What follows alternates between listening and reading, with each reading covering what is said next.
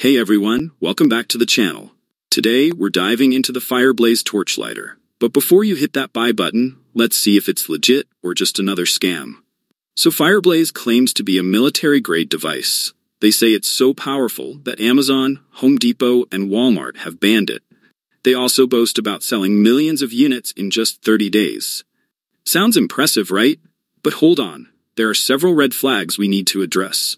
First off, the claim that major retailers ban it for being too powerful is highly suspicious. These types of marketing tactics are designed to create a sense of urgency and exclusivity. They want you to believe you're getting a top secret, cutting edge product. But in reality, it's just clever marketing. The product is mass produced in China and sold under different names for a fraction of the price.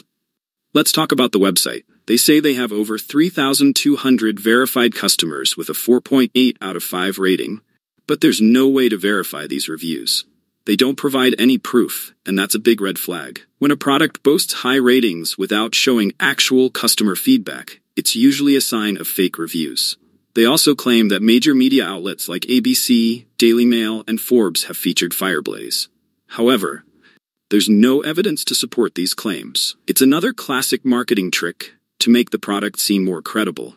Additionally, the testimonials on the site are likely fake. Stock photos and fabricated quotes are commonly used to mislead customers. Now, let's get to the price. The Fireblaze website offers a 50% discount, but only if you buy now. This sense of urgency is another tactic to push you into a quick purchase. However, you can find similar lighters on other websites for much cheaper. On sites like Alibaba or Amazon, these lighters are available for as low as $6 to $16. The Fireblaze is essentially the same product, just rebranded and marked up significantly. What's more concerning is the way they manipulate you into thinking you're getting a deal.